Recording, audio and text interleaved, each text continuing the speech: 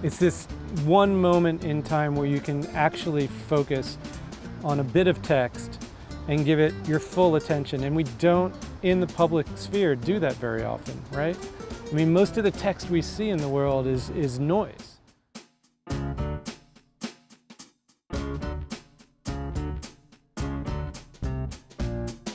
We have about 250 letters, so anyone who submits something has to fit into the constraints of how many H's and W's we have.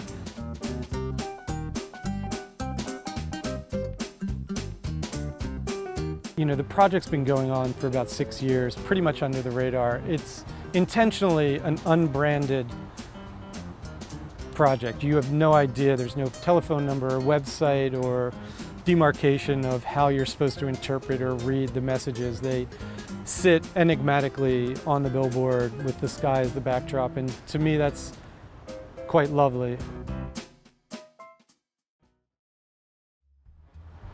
Lenka Clayton is a local artist who had a text that said a number of people who have looked at this sign.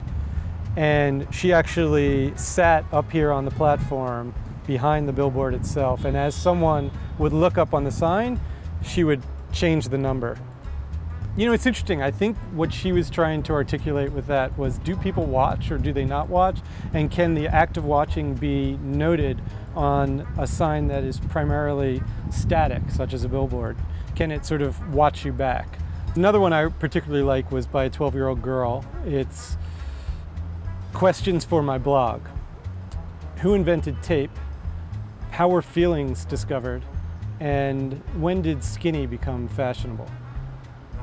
These are obviously interesting questions for a 12 year old, but they're also in interesting questions for an adult to have.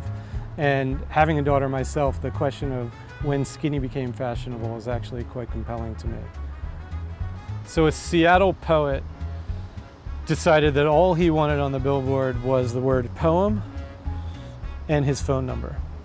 Pretty cryptic. So does it what does it mean when you call that number? And what it meant was by and large, you would call and he would tell you a poem on the spot. It went directly to his phone. Or he would ask you for a poem. Or what would happen sometimes is he'd just be giving random advice to folks in Pittsburgh who happen to be in front of the billboard. Adam Frelin, who's an artist in Albany, New York, submitted a piece that says, let's put speakers on the rooftops of hospitals, let's announce births and deaths as they occur. It actually comes from a proposal that he's never been able to realize, uh, something he'd like to see in the world, is celebrating both you know, the beginning and the end of our lives. And it's, it's quite evocative. You can, you can picture hearing the speakers. It's something that um, places you in a moment in time and space um, that isn't occurring in life. And I think that's, for me, something that I think the billboard can do that advertising doesn't do.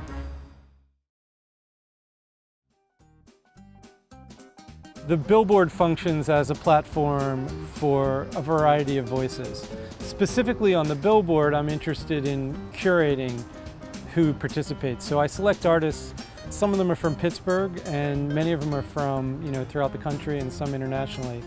Right now we're about to put up a quote by Ben Kinsley and Jessica Langley who are doing a project where they've been collecting janks, which are basically put downs or your mama jokes from all over the world. I like to think of the billboard as a venue that brings voices that maybe aren't already in Pittsburgh to Pittsburgh. The billboard is in some ways the antithesis of social media, right? In, on one level you could say, well, it's about the length of a tweet, but it lasts for about a month. It takes five to six hours to put it up and take it down. It's incredibly physical in its presence in the city. It's not this kind of ephemeral information that comes and goes. And so what's interesting is I think people respond to that locally, you know, this object in space that um, they could kind of relate to in a very old-fashioned way. And it surprisingly lives in both of those worlds, this kind of incredibly slow analog uh, physical experience here in the city and this rapidly shared um, social networked world online. obviously I don't want to advertise. I don't want to take money, you know, from marketers, and I don't. I still reject on a weekly basis people who want to pay me to put certain messages up. I really don't want the dynamic of the billboard to be based on someone's capacity to pay for it. So that means finding independent funding strategies for it. Thanks to a gift from the Rita McGinley Fund through the Pittsburgh Foundation, I'll be able to continue doing the billboard for the next two years.